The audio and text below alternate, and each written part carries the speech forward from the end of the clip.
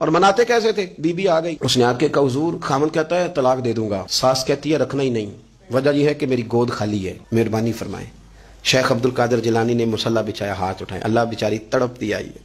इसकी गोद हरी कर दे। करम फरमा दे। ये बेचारी बड़ी दुखी है। बंदा नमाजी फरमा। हज़रत खजर आए। कहने लगे, हजूर, शेख अब्दुल कादिर जिलानी से कहने लगे, आप दुआ न करें। मैं पैगाम लेके आया हूँ, इसके नसीब में ही औलाद नहीं। न करें दुआ। ने कर दी, पर यहाँ तो है ही नहीं। तो ये लाडले हैं ना रब रसूल के। अल्लाह रसूल को मना लेते हैं। तो गौसे पाक कहने लगे अच्छा नहीं इसके नसीब में दुआ।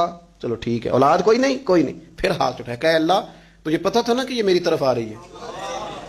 और अल्लाह तुझे इल्म था ना, मेरे दरवाजे तक आ गई है। और मालिक तुझे पता था ना दुआ का, कहेगी, और मैं दुआ करूँगा, तू जानता था ना? अच्छा अच्छा मैं समझ गया। अब ये लोगों से जाके कहेगी, मैं अब्दुल कादिर तक भी हुआ यूँ पर मेरा काम नहीं बना।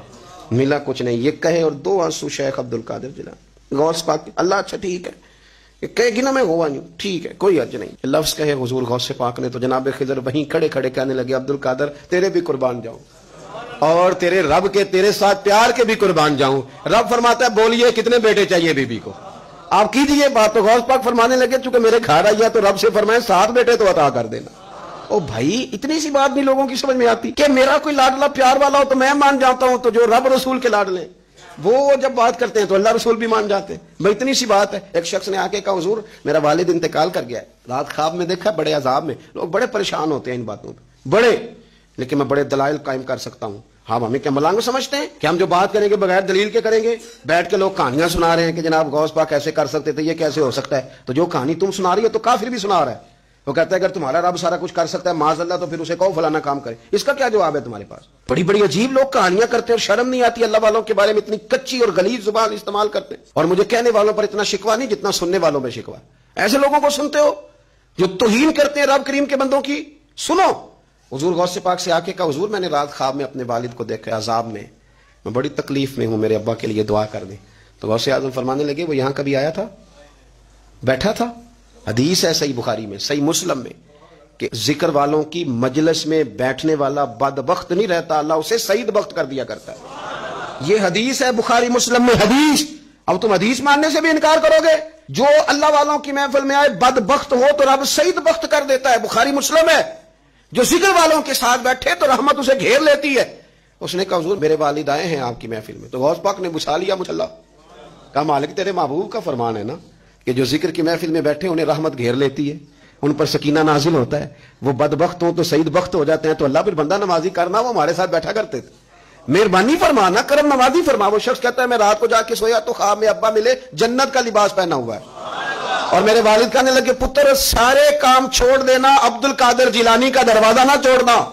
खबरदार, गौस पाक का दरवाज़ा ना छोड़ना। हमें मलंग ना समझो। आप क्या समझते हैं कि हम ऐसे को मलंग तलंग लोग हैं जिसके मर्ज़ी पीछे लग जाएँगे? हम तो बड़े सियाने लोग हैं। हम तो बड़ी जल्दी किसी बंदे को तस्लीम ही नहीं करते। हर बंदा अपने अब्बा का नाम अपने नाम के साथ लगाता है। हमने ज़िंदगी कादरी लिख के गुजार दी है सारी। आप क्या समझते हैं? कच्चे पक्के लोग हैं? और सिर्फ़ यहाँ नहीं वसीयत लेके रखी है। मरेंगे भी तो कबर पे पहले लफ्ज कादरी लिखना। इसलिए कि खुदा के फजल से हम पर है साया गाँव से आज़म का। और हमें दोनों जहाँ में है सहारा और बड़ी तहकीक के साथ, और बड़ी रिसर्च के साथ, और बड़े सियाणे बन के। लेकिन जिस दिन का मान लिया है, फिर बिल्कुल ही मान लिया है।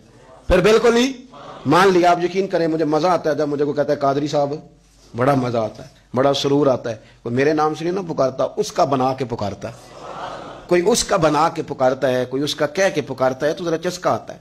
यानी उसमें सुरूर आता है, उसमें जरा कैफ आता है। हजूर गौ से पाक, आपकी नस्बत बड़ी शान वाली।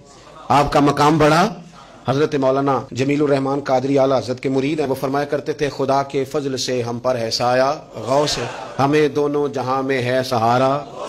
और कादरी कहते हैं, गौस पाक से प्यार करने वाले को। जो भी प्यार करे, वही कादरी है। तो खुदा के फजल से हम पर है साया, हमें दोनों जहाँ में है सहारा।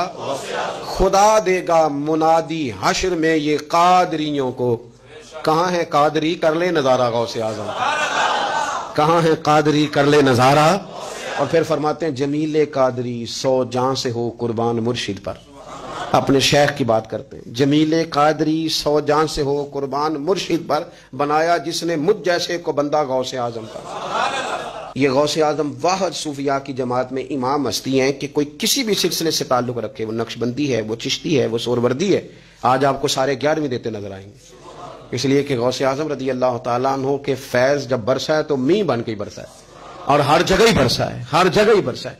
तो बजाय इसके कि हीलो हुज्जत करें सारी ज़िंदगी, अल्लाह वालों से प्यार करें।